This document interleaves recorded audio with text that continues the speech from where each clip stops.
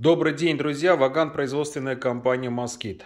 Друзья, по поводу работы термостата Зольника. Вот этот, вот этот кругляк. Значит, Зольник вы знаете, он работает с кнопки дым. Ну, то есть сеть, кнопка дым, это значит у нас начинается дымообразование. То есть мы запускаем зольник. Сейчас я открою его. Так. Туда закладываются дрова. Ну, либо у кого нету дров, тогда щепа. А, друзья, по поводу работы этого термостата. Смотрите. В инструкциях везде написано, как с ним обращаться. Но мы, конечно, паспорта не читаем. Значит, сначала мы ставим на самый максимум, когда запустили. Э, минут через 10-15, когда из верхнего отверстия, вот наверху коптили, там есть датчики. Это не дымоход, это датчик. Там, там, видно его? Через этого датчика идет слабый такой дымочек, как сигарета в руках. Мы этот термостат уменьшаем. То есть сначала на 350, потом уменьшаем примерно на 100-120 градусов. Хорошо, друзья. И в этом режиме, то есть, ну, через еще минут 10-15 мы должны убедиться, что из отверстия такой вялый-вялый дымочек идет. Значит, дымообразование идет нормально.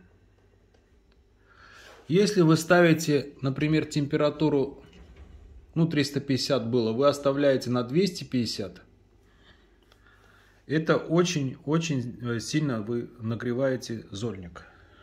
Вот этот. Сильно его нагревать не надо. Если вы его сильно нагреваете, там вспыхивает от открытый огонь. А когда открытый огонь, на продукте осаживается пепел. И продукт будет горчить. Не разогревайте зольник слишком сильно. Лучше слабее, чем сильнее. Ваша задача даже такая, что через час, через э, час, э, через полтора, вот все дрова, которые вы сюда загрузили, либо щепа, они прогорели, что там, чтобы там белого ничего не осталось. Ну, белых не прогоревших полешек имеется в виду, да? Ничего такого не осталось. Не, не надо сильно, сильно не надо топить зольник. Топить зольник это значит больше температуру ставить. Надо аккуратно с ним работать, поменьше. Вот, это нижний термостат. Ставьте его поменьше, 100-120 градусов. Некоторые даже 50 ставят. Некоторые вообще выключают на некоторое время, потому что очень, очень много дыма пошло. И еще такой момент. Если вы сильно подаете дым, например, с 200-250 ставите, даже 180 если ставите, если сильно подаете дым, даже если в закрытом состоянии, зольник, так, ну, одной рукой неудобно барашку закрыть, ну, вы понимаете, в общем, в закрытом состоянии, отсюда начинает идти дымочек. Это он, дымочек сверху идет, знаете почему? Потому что вот вы сильно подаете дым. И лишнее отсюда лезет. Коптильне столько дыма не надо. Коптильня электростатическая. А что значит электростатическая коптильня? Это значит, что весь дым, который в дымогенераторе используется, он весь осаживается на продукт. В традиционном копчении – только 3% дыма осаживается на продукт. Остальное даже с ним не соприкасается и в трубу куда-то валит на улицу. Ну вот клубы дыма, знаете, от коптильни валит вот этот дым. Для чего этот дым образовывается, никто ответить на этот вопрос не может. Такое огромное количество, если он даже с продуктом не контактировал. Преимущество электростатических коптилен именно в этом, что она требует небольшое количество дыма, потому что весь дым, ну не весь, там процентов 93, наверное, 95, используется в дело. Ну, немножечко дыма там из этого отверстия уходит. В традиционном копчении подают очень много дыма, чтобы часть дыма хотя бы пропала на продукт. Понятно. Ну, в общем, друзья, по термостату еще раз, да, повторимся. Если подаю, ставите, ну, разогрев, понятно, сразу на максимум, через 10 минут уменьшаем. Если вы уменьшили, там, примерно до 200, и у вас открытый огонь пошел в зольнике, у вас на продукт будет осаживаться пепел. Продукт будет копчи, э, горчить.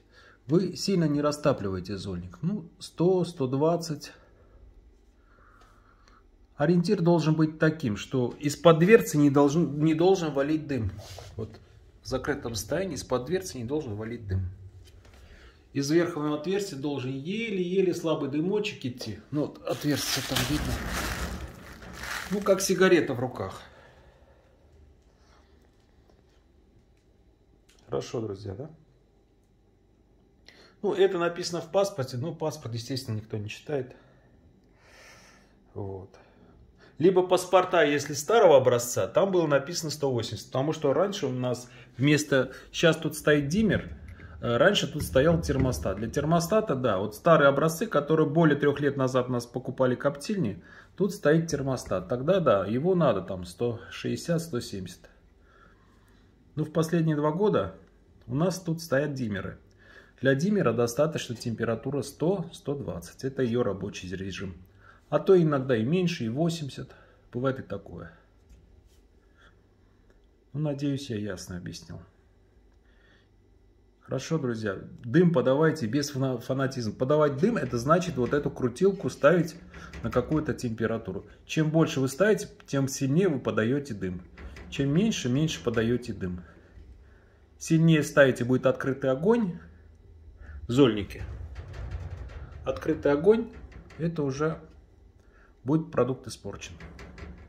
Поменьше ставьте, не надо больше. Хорошо. Все, до свидания. До новых встреч. Пишите, если что-то не получается, звоните.